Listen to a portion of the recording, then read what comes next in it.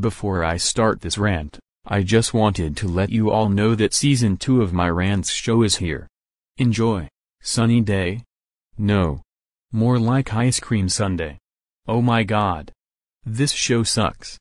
This show is about a leader hairstyler named Sunny, who's along with her pet named Doodle and her friends Rox and Blair going on failure adventures.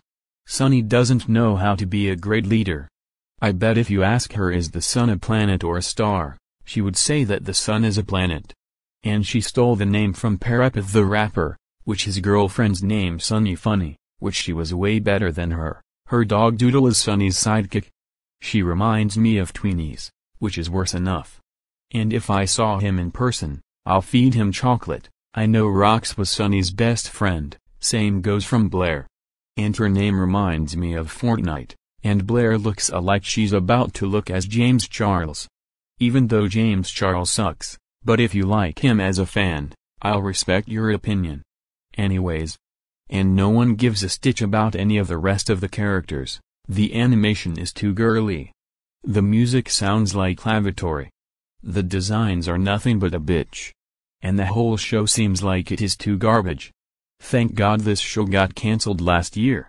I hope this show gets taken off the air, and I hope it'll never gets a renewed season. If so, I hope this show gets cancelled after getting a renewed season. Do you know who likes this show? Sunny Day yes Game of Thrones no. He likes this show so much, but I respect his opinion. And do you know who hates this show? Lou from Media slash slash Super Smash Bros. Ultimate and Sonic the Hedgehog fan 2001 and Allison Jackson. And Lou from Media slash slash Super Smash Bros. Ultimate and Sonic the Hedgehog fan 2001 made a rant about that show, and Allison Jackson also hates this show because it is too girly and stupid. So screw Sunny Day, or should I say, more like Screwy Day or Suck My Dick, and screw Lilo and Stitch. The wonderful world of Mickey Mouse is so many times better than Sunny Day. End of rant. Here are my next upcoming rants.